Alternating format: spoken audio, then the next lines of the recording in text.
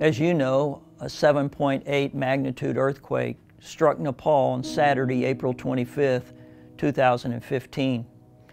My heart has been moved and grieved as I've watched the pictures and the reports on the great devastation of that country. To date, over 4,600 people have died in this tragedy and many more are missing.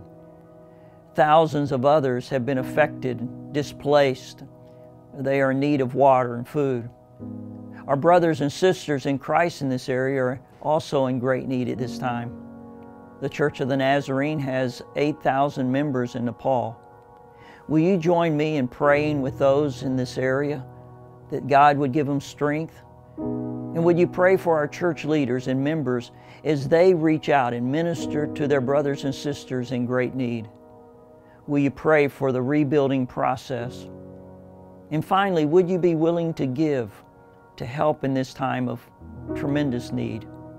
You can find the Give Now link on ncm.org. Please be generous in this time of need, both in your giving and in your praying. Thank you for all that you're doing. And may God bless you as you give and as you pray. And may God come around and support our brothers and sisters in this time of great devastation. God bless you.